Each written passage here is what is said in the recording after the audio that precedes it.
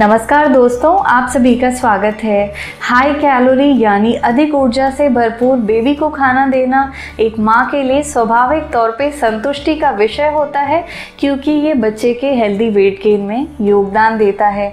इसी के साथ ही हाई कैलोरी से भरपूर ये खाना बेबी को दिन भर की एक्टिविटी के लिए एनर्जी प्रोवाइड करता है, उनके अच्छे ग्रोथ और डेवलपमेंट में ये योगदान देता है। हाई कैलोरी यानी अधिक ऊर्जा से भरपूर बेबी के लिए डाइट में वैरायटी के ऑप्शंस में सबसे पहला नाम आता है ग्रेन्स यानी अनाज का। बहुत हाई कैलोरी से ये भरपूर होते हैं, स्पेशली होल ग्रेन्स जो होते हैं, फाइबर से भरपूर होते हैं विटामिन और मिनरल्स की इसमें बहुत सी वैरायटी होती है, स्पेशली आयरन और कैल्शियम से ये भरपूर होते हैं। फ्रेंड्स वैसे तो ग्रेन्स की सभी वैरायटी बेबी की हेल्दी ग्रोथ और डेवलपमेंट के लिए अच्छी होती है। लेकिन यहाँ हम आज बात करेंगे टॉप फाइव ग्रेन्स के बारे में, जो हाई कैलोरी से भरपूर हैं विटामिन मिनरल से भरपूर हैं। हाई होते हैं फाइबर में और बच्चे के वेट गेन में ये डेफिनेटली योगदान देते हैं। तो चलिए फिर करते हैं शुरुआत और जानते हैं इन टॉप फाइव ग्रेन्स के बारे में, किस एज से शुरू करना है, किन वेराइटी फॉर्म में आप दे सकते हैं, कौन सा समय अच्छा रहता है बेबी को ये देने के लिए। अगर आपको हमारा आज का वीडियो पसंद आए तो सब्सक्राइब ज़रूर से कीजिए हमारे चैनल को। ऐसे ही बेबी के हेल्दी वेट गेन के लिए, उनकी हेल्थ के लिए आने वाले बहुत सारे हेल्दी वीडियोस के लिए कीप वॉचिंग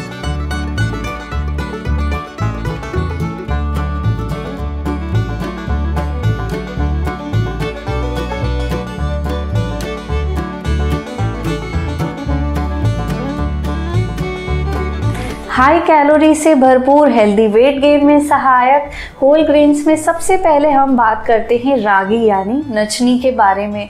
बहुत ही हेल्दी होता है ये बेबीज़ के लिए। आप इन्हें देना शुरू कर सकते हैं छः महीने की उम्र से। बेबीज़ को रागी वैसे तो आप किसी भी समय दे सकते हैं, लेकिन एज अ लंच और डिनर देना बहुत ही हेल्दी ऑप्शन है, क्योंकि नेचुरल रिलैक्सेंट ये होता है, बच्चे की अच्छी नींद में ये सहायक रहता है। शुरुआती छः महीने से आप बेबी को रागी का दलिया बना के दे सकते हैं, जहाँ एक तरफ़ रागी अपने आप में ही हेल्दी वेट गेन के लिए अच्छा है, वहीं इसमें घी ऐड करने से ये वेट गेन में और भी ज़्यादा सहायक रहता है। जब बेबी थोड़े बड़े हों सॉलिड फ़ूड के लिए तैयार हो, जैसे आठ से दस महीने की उम्र में तो आप रागी की इडली, उसका डोसा बना के भी बेबी को दे सकते हैं, और बड़े बेबीज़ के लिए आप रागी की कुकीज़ बना के दे सकते हैं। बच्चे के लिए फ़ूड को ये और भी इंटरेस्टिंग बनाता है डिफरेंट वेराइटी लाता है। रागी के और फ़ायदों की यहाँ पे बात करें तो नेचुरल आयरन का ये सोर्स होता है। एनीमिया यानी खून की कमी नहीं होने देता बच्चों में। कैल्शियम से ये भरपूर होता है, बच्चे की हड्डियों की मजबूती और विकास में ये सहायक रहता है। फाइबर से भरपूर होता है, बच्चे को लंबे समय तक भरावा महसूस कराता है। पचने में ये बहुत ही आसान होता है, साथ ही पाचन में भी सहायक रहता है।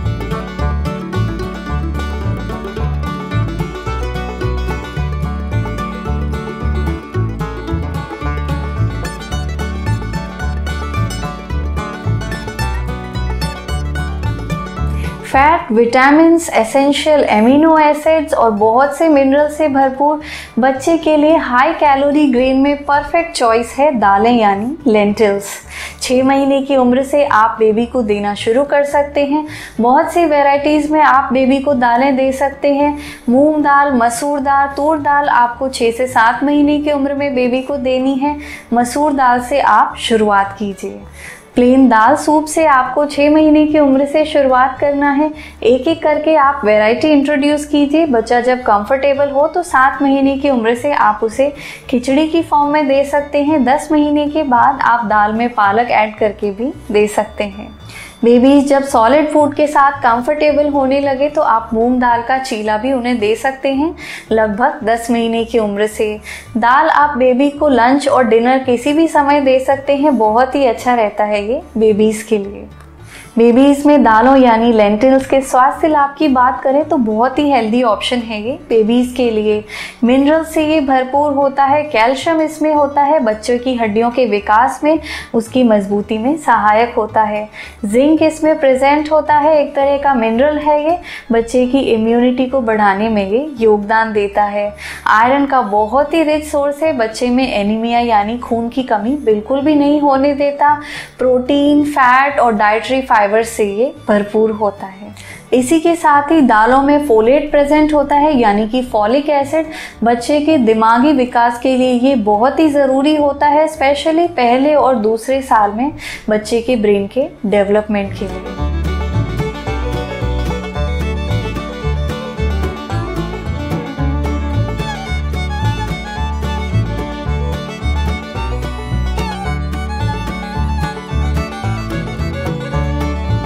साबुत अनाज में यहाँ पे अगली बात करते हैं ओट्स की।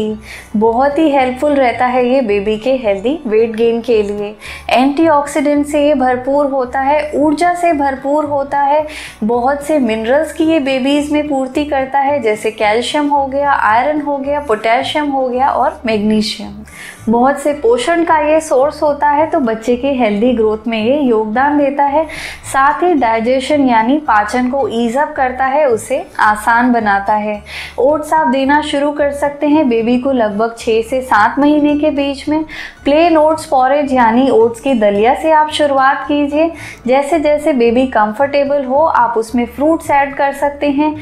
हाई कैलोरी फ्रूट्स आप ऐड कर सकते हैं, जैसे बनाना हो गया मैंगो यानी आम हो गया। पपीता ऐड कर सकते हैं। इसके अलावा एप्पल ब्रेन फ़ूड भी बहुत ही अच्छा रहता है बेबी को ओट्स के साथ देने के लिए। बेबी के हेल्दी ब्रेकफास्ट के लिए ओट्स बहुत ही अच्छा ऑप्शन है। आप अगर चाहें तो बेबी को ओट्स नाइट में भी दे सकते हैं, क्योंकि पचने में ये थोड़ा आसान रहता है।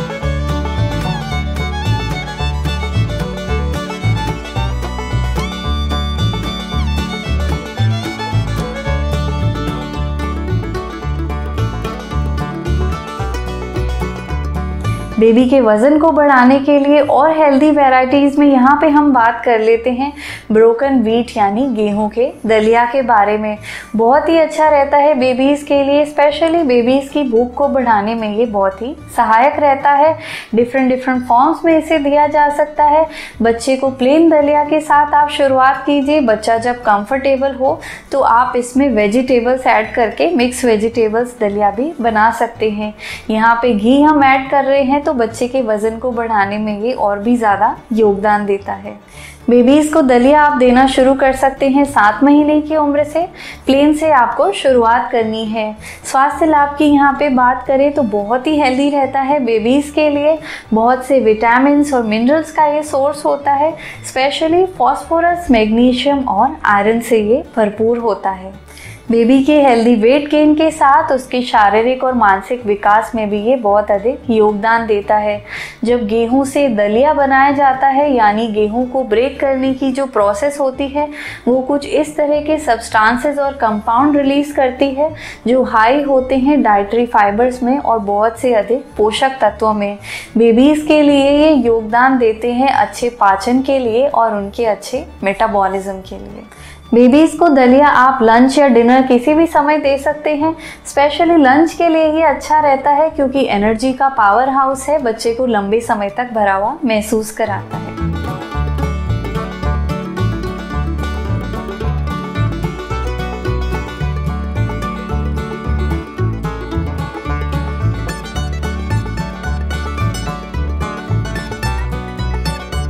न्यूट्रिशन का पावर हाउस कहे जाने वाले हाई कैलोरी अनाज में अगली बात करते हैं बार्ली यानी जौ की।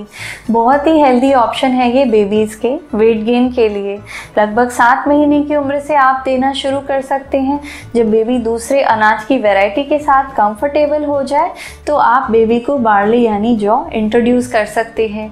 दो डिफरेंट फॉर्म्स में इसे दिया जा सकता है। आप जौ का दलिया बना सकते हैं। जौ का पानी बेबी को दे सकते हैं। पानी जो अगर आप दे रहे हैं, वो आप मॉर्निंग टाइम में दीजिए। जौ का दलिया यानी बार्ली पॉरेज अगर आप बना रहे हैं तो लंच में देने के लिए ये अच्छा ऑप्शन है। बारले के बेबीज के स्वास्थ्य लाभ की यहाँ पे बात करें तो लिवर की मजबूती में ये सहायक होता है।